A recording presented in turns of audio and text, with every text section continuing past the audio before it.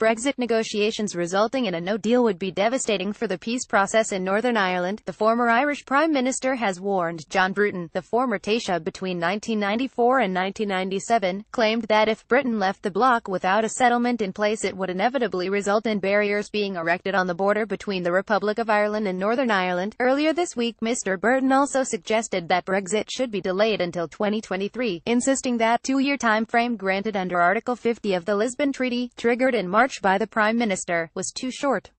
It comes after Theresa May outlined in the Commons that the government was preparing for all possible outcomes in the Brexit negotiations, including allocating funds for the talks collapsing without a deal, as hopes of an agreement appeared to fade at home and abroad. The Prime Minister, for the first time, set out detailed steps to minimize disruption in March 2019.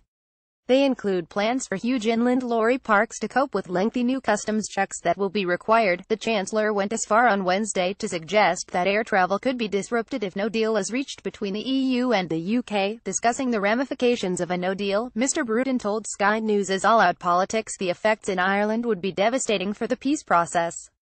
I spent a lot of my life building a reconciliation that enabled the peace process in Northern Ireland to be put in place. That's going to be utterly disrupted by the barriers that will have to be imposed along the border if Britain leaves the European Union without a satisfactory deal.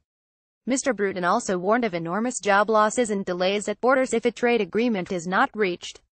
Most of the cheddar that you eat in Britain is produced in Ireland, he said.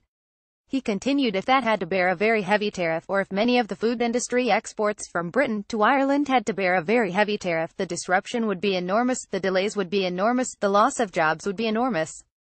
All of this could perhaps be avoided if we just took a little bit more time to do the deal in a rational way rather than in accordance with an unduly tight timetable which was put in place on the assumption that something like Brexit would not actually happen. More about John Burton Northern Ireland Republic of Ireland Brexit reuse content